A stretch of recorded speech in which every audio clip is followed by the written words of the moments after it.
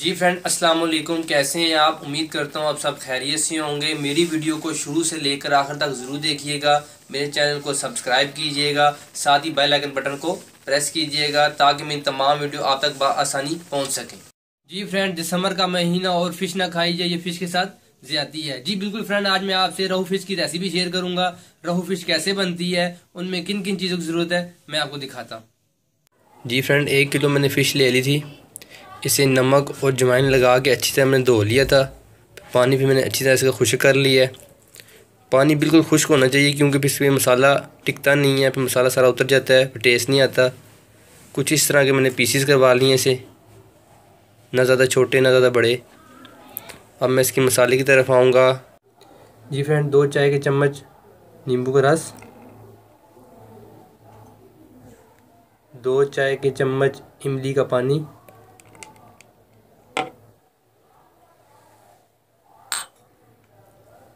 لہسن، ادرک اور ہری مرچ کا پیسٹ،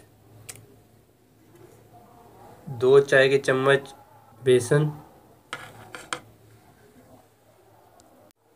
ایک چائے کا چمچ لال مرچ،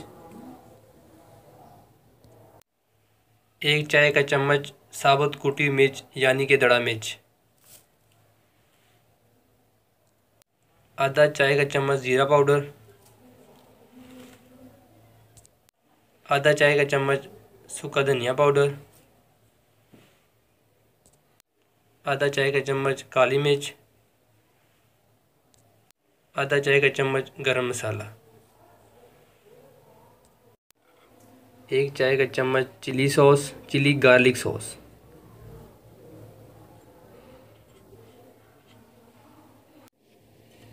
اور تھوڑی سی ہلدی اور نمک آپشنل ہے۔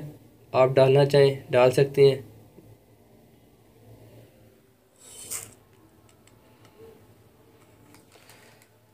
اب اس میں تھوڑا سا پانی ایڈ کروں گا میں۔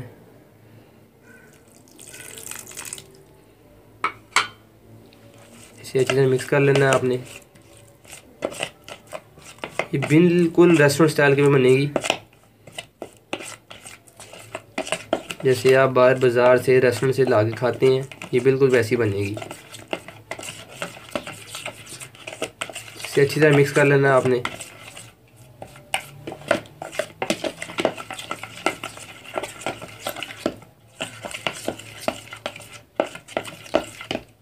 اچھی طرح مکس ہو گیا۔ ہے اب میں فش پہ مسالہ لگاؤں گا۔ جی فرینڈ کچھ اس طرح آپ نے مسالے کا مکسر بنانا ہے۔ اتنا تھک ہونا چاہیے۔ زیادہ پتلا نہیں ہونا چاہیے۔ اب میں اسے فش پہ لگاؤں گا۔ فش پہ کچھ اس طرح آپ نے لگا لینا اسے۔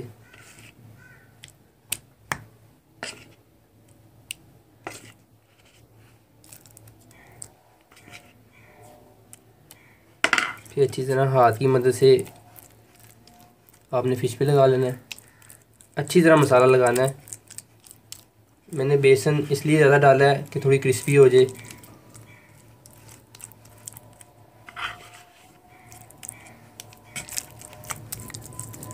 ساری فش پہ آپ نے اچھی طرح مسالہ لگانا ہے۔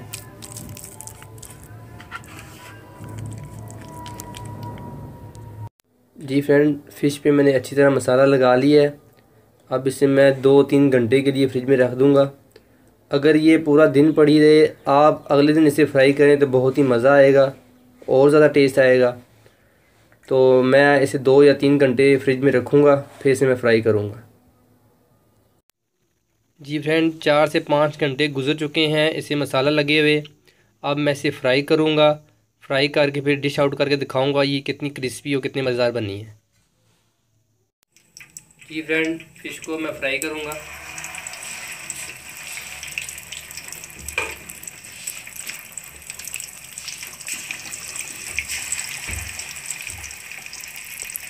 جی فرینڈ، فش فرائی ہو رہی ہے۔ اسے آپ نے سلو آنچ پہ پکانا ہے۔ تیز آنچ پہ پکائیں گے تو باہر سے پک جائے گی، اندر سے کچی رہ جائے گی۔ اس سے میں چھ سے سات منٹ اس میں فرائی کروں گا۔ پھر آپ کو ڈش آؤٹ کر کے دکھاؤں گا کہ فش کتنی مزیدار بنی ہے۔ جی فرینڈ، جو باقی کی فش بچی ہے اس میں فرائی کر لوں گا میں۔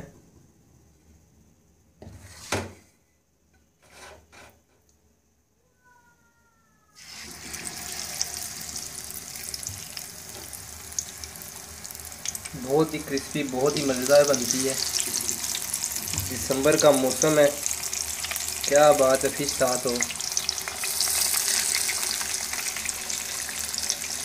اب اس سے بھی میں سات سے آٹھ منٹ فرائی کروں گا۔